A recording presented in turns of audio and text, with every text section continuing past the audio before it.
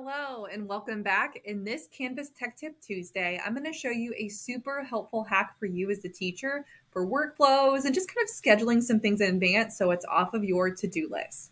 In Canvas, there's an amazing feature called announcements. Announcements on Canvas are a communication tool and method, but think of announcements as a one-way communication tool. They're designed to be teacher to student communication, not really continuing a conversation with the students one on one or a group chat.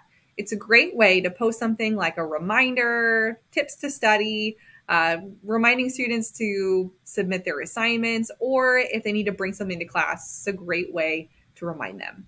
Announcements are also great because they show up as a push notification on student devices where they have the mobile app installed. So it's a great way to get those announcements and reminders out there, especially if it's something that maybe you forgot to tell students in class, which that happened to me all the time.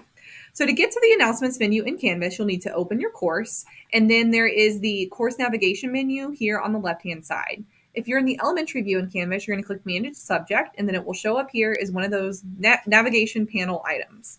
Whenever I click Announcements, I'm going to click over here in the top right corner and click New Announcement. And I'm already in this Builder view right now, so I click that.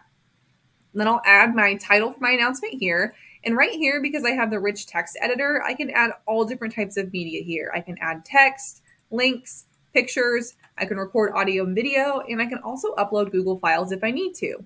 I can also attach any attachments, let me anything saved to my device if I need to do that as well. Below this, I can decide what groups of students I want this to be posted to. By default, it's always set to where all of your students will see this. If I only want this for a certain class period or mod, like maybe at the high school or middle school, I can select those here.